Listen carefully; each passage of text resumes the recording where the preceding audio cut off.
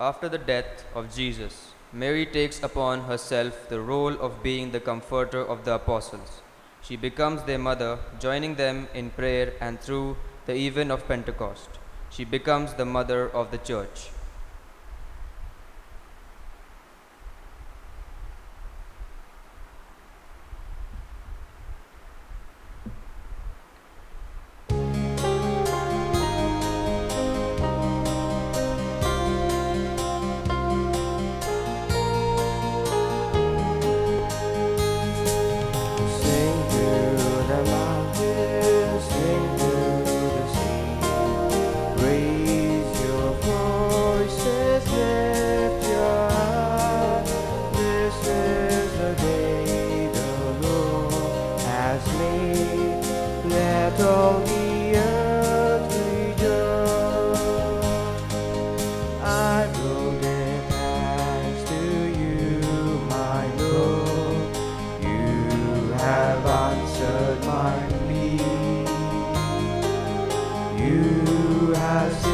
Saved my soul from death.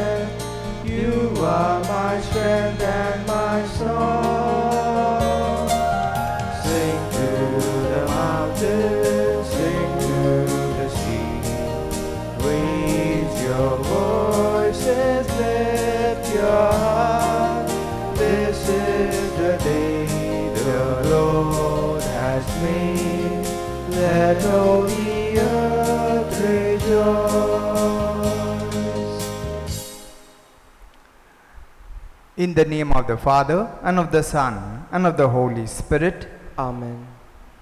the grace and peace of our Lord Jesus Christ, and the love of God, and the communion of the Holy Spirit be with you all. And with your spirit. My dear sisters and brothers in Jesus Christ, and my dear children, today is the last day of our novena service. And as we take part in this Eucharist, let us continue to thank God for the gift of our Blessed Mother to each one of us.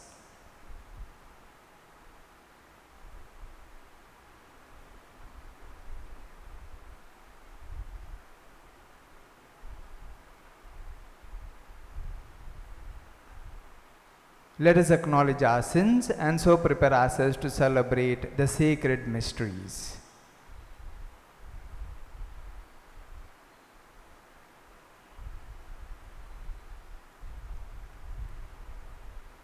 I confess to Almighty God and to you, my brothers and sisters, that I have greatly sinned in my thoughts and in my words, in what I have done and in what I have failed to do, through my fault, through my fault, through my most grievous fault.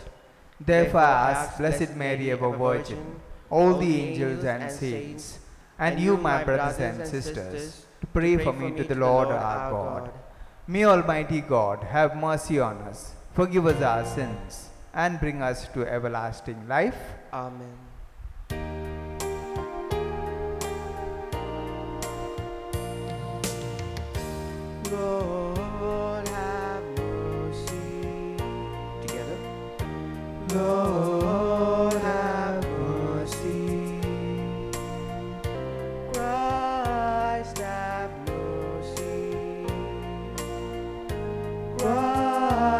Have mercy.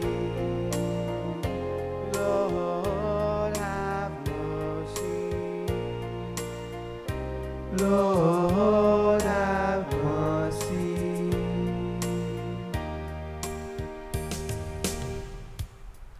Let us pray. O God, by whom we are redeemed and receive adoption, look graciously upon your beloved sons and daughters, that those who believe in Christ may receive true freedom and an everlasting inheritance through our Lord Jesus Christ, your Son, who lives and reigns with you in the unity of the Holy Spirit, one God forever and ever. Amen.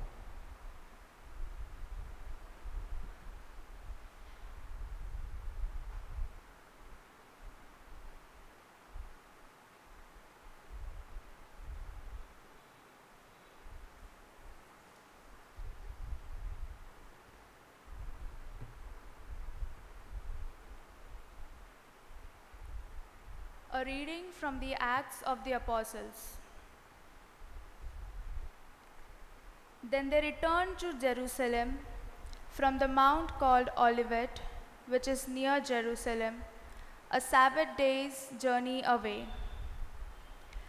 When they had entered the city, they went to the room upstairs where they were staying Peter and John and James and Andrew, Philip and Thomas, Bartholomew and Matthew, James, son of Alphaeus, and Simon the Zealot, and Judas, son of James. All these were constantly devoting themselves to prayer, together with certain women, including Mary, the mother of Jesus, as well as his brothers. When the day of Pentecost had come, they were all together in one place.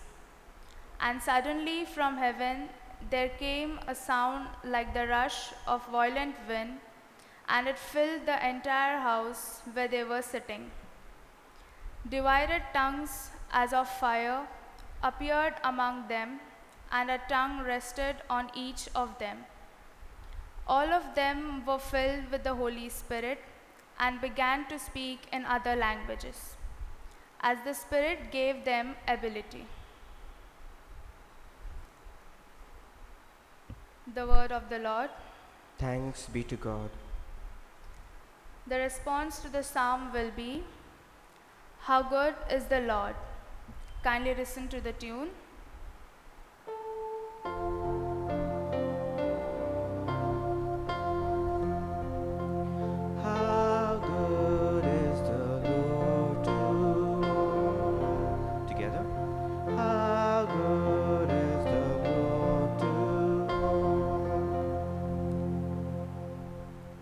Extol you, my God and King, and bless your name forever and ever. I will bless you day after day and praise your name forever and ever. How good is the Lord. The Lord is kind and full of compassion, slow to anger, abounding in mercy. How good is the Lord to all, compassionate to all his creatures. How good is the Lord to all. All your work shall thank you, O Lord, and all your faithful ones bless you. They shall speak of the glory of your reign and declare your mighty deeds.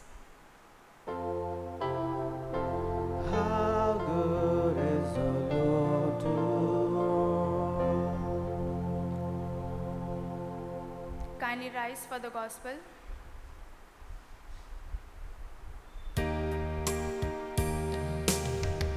Hallelujah,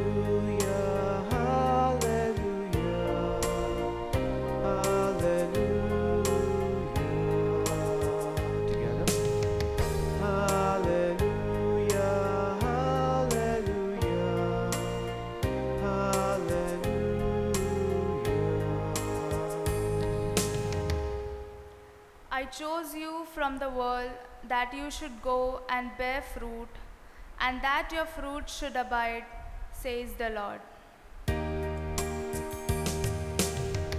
Hallelujah, hallelujah, hallelujah.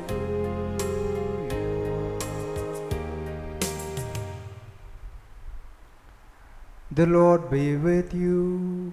And with your spirit, A reading from the Holy Gospel according to Luke. glory to you, O Lord. In those days, Jesus went out to the mountain to pray, and all night he continued in prayer to God.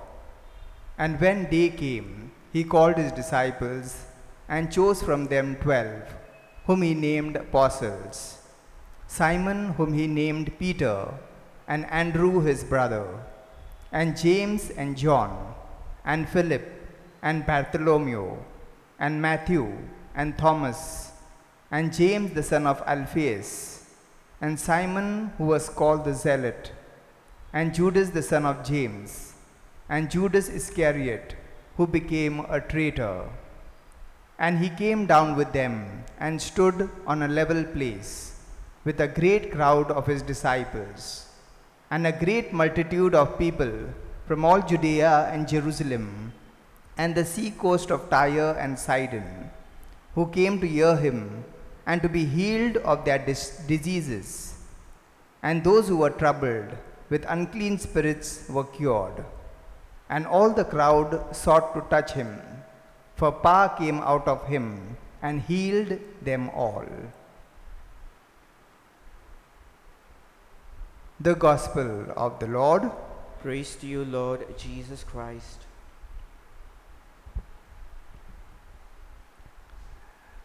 My dear children, my dear youngsters, and my dear people, do you know what is the theme of today's novena service? It is the last day of our novena service. Do you know what is the theme? Anybody can answer this. Bevin, what is the theme of today's novena service? Here, Archana. Not Mary in the Word of God, that is an overarching theme, no? But the main or specific theme is Mary at Pentecost. Mary at Pentecost. So today we will learn something more about this theme, Mary at Pentecost. Now tell me, after the death of Jesus, what, what must have been the situation of his apostles? After the death of Jesus, what must have been his situation? What generally happens when we lose somebody who is close to us or dear to us? What happens? How do we feel? You all have not lost anybody and not felt anything like that? Very good. We feel sad. What other feeling goes on within us besides sadness? We feel very low, no? We feel very low, we'll feel disheartened, we feel that the world has come to an end for us, no? Especially when we lose somebody who is very near and dear to us. So that was exactly the situation of the apostles after the death of Jesus because he was somebody who was closest and dearest to them. So imagine their state of their, the state of their mind and heart after they lost him. No? They were disheartened, they were feeling low, they were feeling discouraged. And in these moments, when we are going through this feeling of discouragement or disheartenment or feeling low, don't we need somebody to lift us up? We need, no, someone who can, you know, give us that courage, who can comfort us, who can console us. So, uh, since we are human beings, we need somebody's support or consolation and comfort. Now, for the apostles, who was that one person, you think? Who was that one person? Mother Mary, no? She was that one person to give them that comfort and consolation. So, when you read uh, the first, if you have heard that first reading of today, you see that Mary was constantly with the apostles. She was always standing by them, she was always besides them. And why was she present with them? Anto, why was Mother Mary present with the apostles?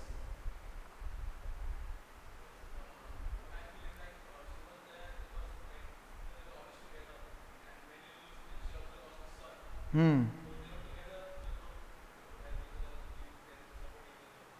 Yes. So more than to support, yeah, that is the right word, no? To support them, to encourage them. No? They were discouraged.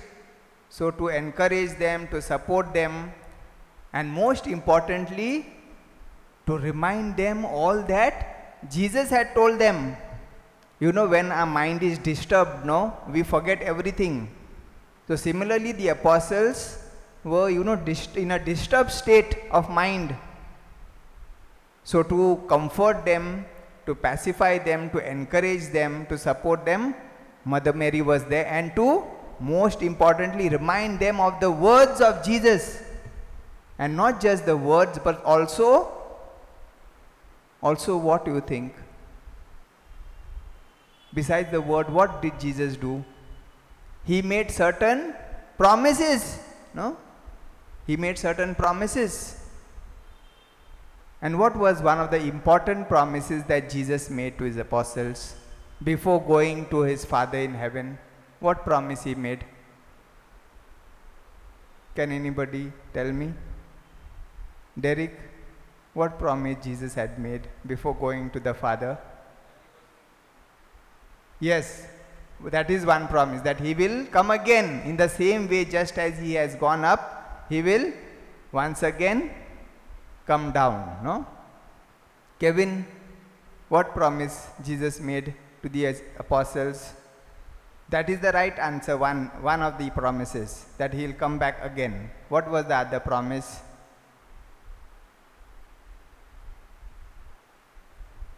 What was another promise? The gift of the Holy Spirit. No? He said, Stay in Jerusalem because you will receive the gift of the Holy Spirit. So, that was another important promise that Jesus made to his apostles. So, we are told that Mother Mary told, his, told the apostles to trust in the promises of Jesus, to have trust in the promises of Jesus. And therefore, on Pentecost day, on Pentecost day, Mother Mary was present with the apostles. And they were praying hard. Praying for what? Why were they praying hard? For what reason were they praying? I don't know the name of this boy. Rex. Ah, Rex. Why were they praying? Why were they praying? For the gift of the Holy Spirit. No? They were praying for the gift of the Holy Spirit. And then what happened? Were their prayer answered? Was their prayer answered? Yes. No? Their prayer was answered because they were praying sincerely. They were praying sincerely and earnestly. Their prayer was answered and they received the gift of the Holy Spirit. Now, let me ask you one uh, important, not just important, but maybe this, you may not know this. Why did they gather only on the day of Pentecost for this gift of the Holy Spirit? Why only on that day of Pentecost? Why not any other day? Why not any other day? I don't know your name, I forgot. Sorry? Eleanor, huh? Eleanor, why had they assembled only on the day of Pentecost? Agassi, why did they gather only on the day of Pentecost? Elvis is scared now only. See, Pentecost was a day when they remembered the Ten Commandments that were given by God to Moses. No? See, there are certain days when we remember something. No? Like on our birthday, we remember the day we were born. So on Pentecost day, it was a feast on which they remembered the time when God had given Ten Commandments to Moses and Moses had passed them down to the people. So it was a day of remembrance of that particular event, giving of the Ten Commandments. So in olden times, God gave Ten Commandments. And now what did He do on Pentecost day? This young lady here, what did God do on Pentecost day? He gave them something else. What was that something else? You did the reading, you don't know? Gift of the Holy Spirit. No? On this Pentecost, now when they were gathered, he gave them gift of the Holy Spirit. Okay, now since we are talking so much about the Holy Spirit and you all are confirmation students also, no? Bevin, your confirmation student? Okay. So now what important lesson do you learn from this theme of Pentecost?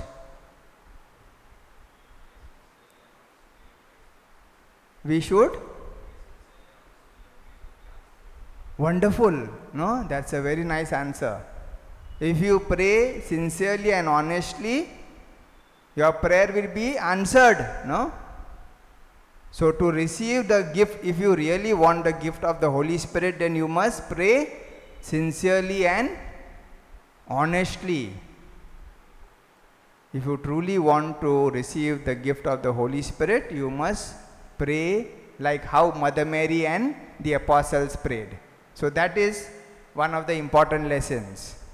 Another important lesson is to trust in the promises of Jesus, you know. Jesus has made so many promises in the Bible. Ask and you will receive. Knock and it will be open to you. Search and you will find. So don't think those promises are empty. No? Sometimes two people they make promises to each other, but they are empty promises. I will do this and I will do that. I will do that. No? But all those empty promises are empty. But that is not the case with Jesus. Jesus is true to each and every promise of his, no? whether it is small or big. So now let's close our eyes for a while. And ask the grace of the Eucharistic Lord to help us to trust in each and every promise of His. And at the same time, to pray earnestly and seriously for the gift of the Holy Spirit in our lives so that we may live holy lives.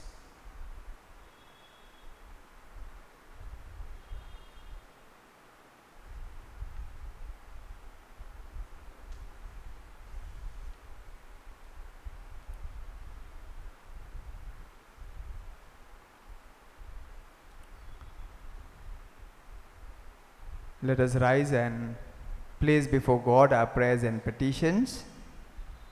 The Spirit that came down on Mary and the apostles at Pentecost is the same Spirit that prompts us to call upon God our Father in prayer, saying, Lord, hear our prayer. Together, Lord, Lord, hear, hear our our prayer.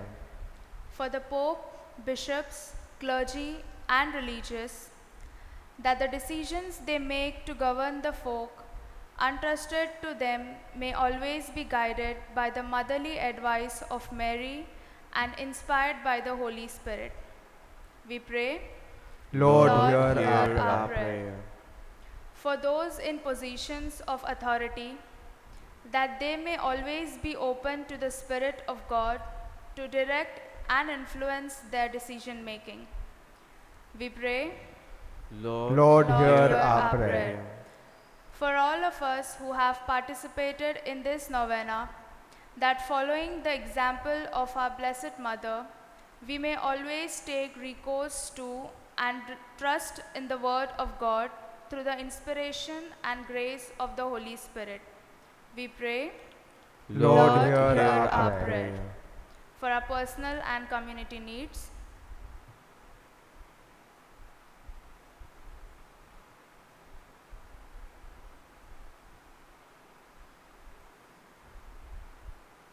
We pray, Lord, Lord, hear our prayer.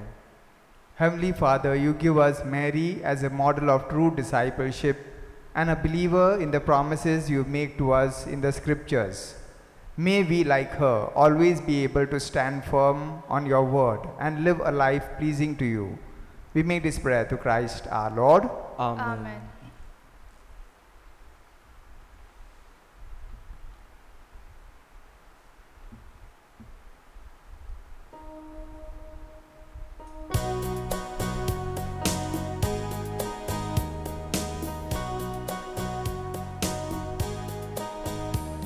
we offer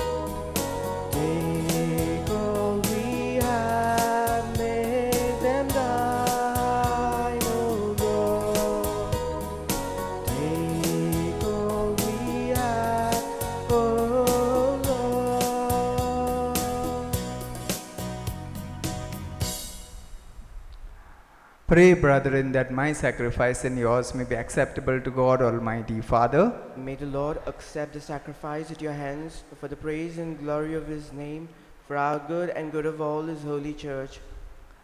O God, who give us the gift of true prayer and of peace, graciously grant that through this offering we may do fitting homage to your divine majesty, and by partaking of the sacred mystery, we may be faithfully united in mind and heart. Through Christ our Lord. Amen. The Lord be with you. And with your spirit, Lift up your hearts. we lift them up to the Lord. Let us give thanks to the Lord our God. It is right and just. It is truly right and just, our duty and our salvation, always and everywhere to give you thanks. Lord, Holy Father, Almighty and Eternal God, through Christ our Lord. His death we celebrate in love, His resurrection we confess with living faith, and His coming in glory we await with unwavering hope. And so, with all the angels and saints, we praise you as without end we acclaim.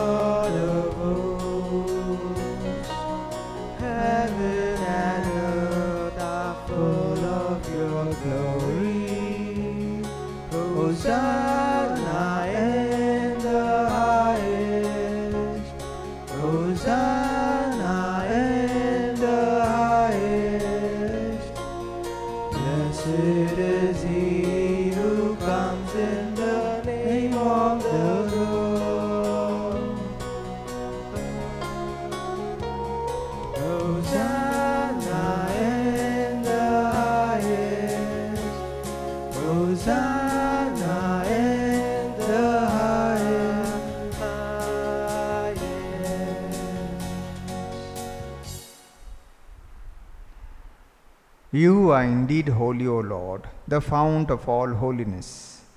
Make holy, therefore, these gifts, we pray, by sending down your Spirit upon them like the dew fall, so that they may become for us the body and blood of our Lord Jesus Christ. At the time he was betrayed and entered willingly into his passion, he took bread and giving thanks, broke it and gave it to his disciples, saying, Take this, all of you, and eat of it, for this is my body which will be given up for you.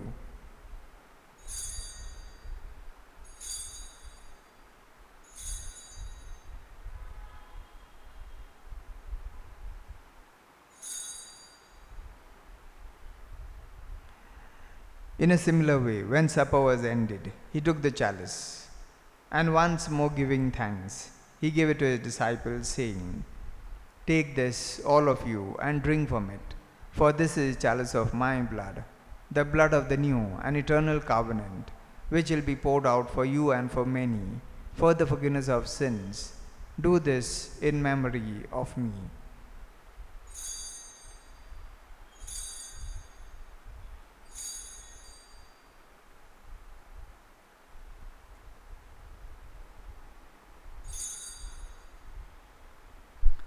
The mystery of faith.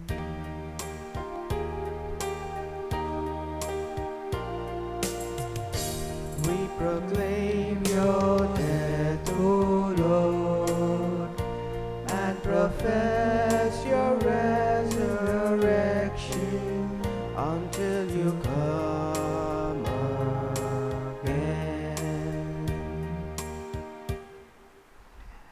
Therefore, as we celebrate the memorial of his death and resurrection, we offer you, Lord, the bread of life and the chalice of salvation, giving thanks that you have held us worthy to be in your presence and minister to you.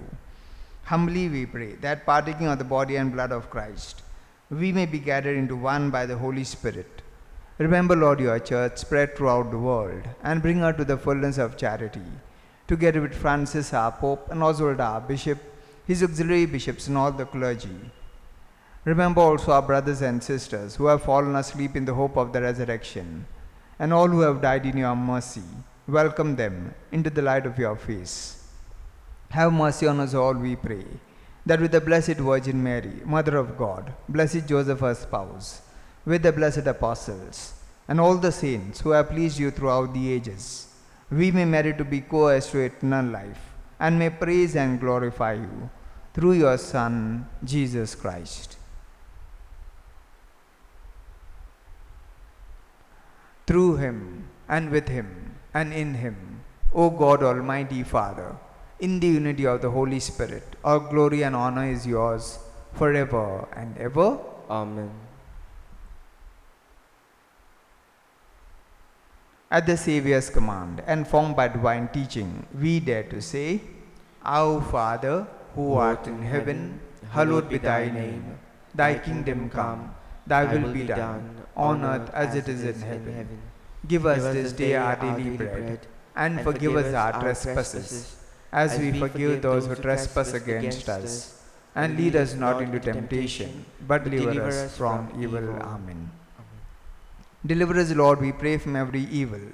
Graciously grant peace in our days, that by the help of your mercy we may be always free from sin and safe from all distress, as we await the blessed hope and the coming of our Saviour Jesus Christ. For the kingdom and the power and the glory are yours now and forever.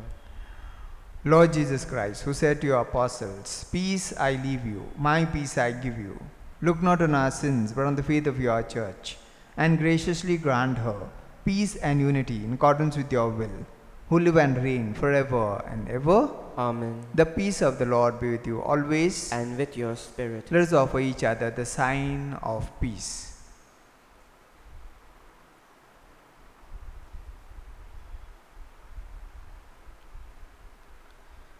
Lamb of God, you take away the sins of the world, have mercy on us.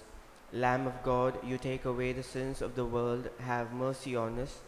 Lamb of God, you take away the sins of the world, grant us peace.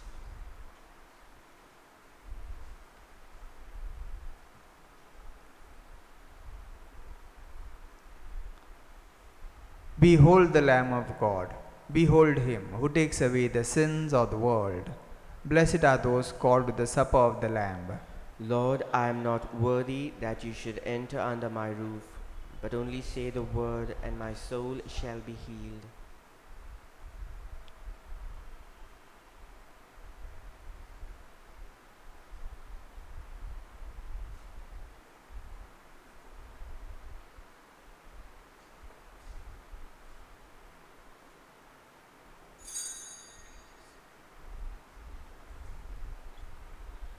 Let us make our spiritual communion with the Lord. My Jesus, I believe that you are present in the most blessed sacrament.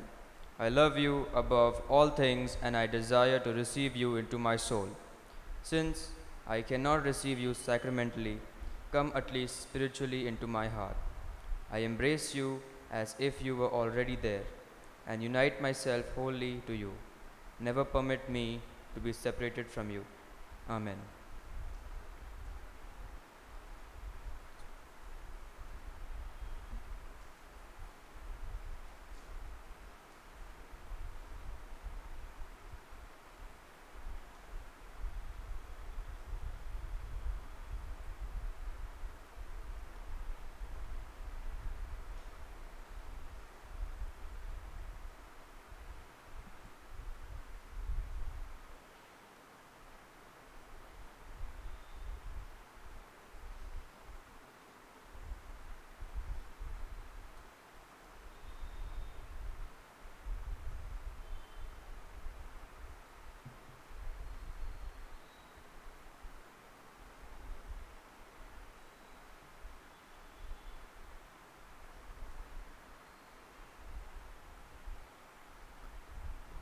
Let us pray.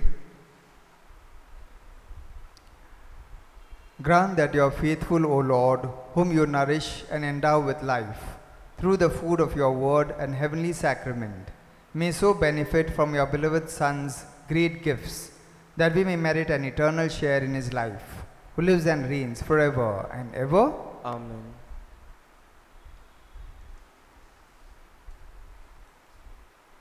Novena prayer to Our Lady of the Mount. O Mary, Mother of Jesus, we honor you and thank you for the countless blessings we have received through your intercession with your divine Son, Jesus. As you are the Queen and Mother of Mumbai, we humbly implore you to keep our city safe from all dangers, troubles, calamities, and all evil. Let there be peace, goodwill, and understanding among all communities in India and the whole world. Keep our families united in mutual love and obtain for us the following favor.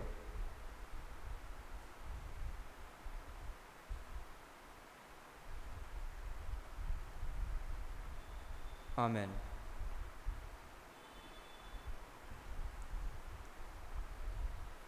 Prayer for relief from the coronavirus. Almighty and merciful God, who show your love to all creation everywhere, hear graciously the prayer we make for all those affected by the coronavirus in various parts of the world. We come before you asking an efficacious control of the outbreak for a healing of those affected, for the victims and their families. We thank you for blessing the efforts of our research scientists working on the development of a vaccine. We pray that these vaccines will be effective in combating the virus and its mutants and in controlling the spread of the pandemic. We pray that the vaccine will be available for all our people, even the poor and those in rural areas. We pray for doctors, nurses, and health workers who are in the front line of this battle, that they be kept safe and have the strength and courage to continue their heroic efforts. We pray for the government and health authorities that they take appropriate steps for the good of the people. We make this prayer to Christ our Lord. Amen. Kindly be seated for a while.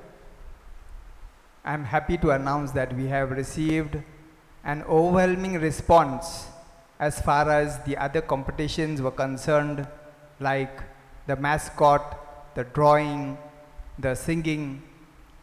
And I'm here to remind you of the last competition of Armenian Night, that is, composing a poem and recording a video of the same by reciting it. So tomorrow is the last day for that. So once you have once you are ready with your video, kindly send us your entries on our WhatsApp number 8169875316 together with your name and zone latest by tomorrow 6 pm. And the first three entries will get nice prizes. So please do participate. Kindly rise for the final prayer. The Lord be with you, And with your spirit. and may Almighty God bless you, the Father, the Son, and the Holy Spirit. Amen. Go forth, the Mass is ended. Thanks be to God.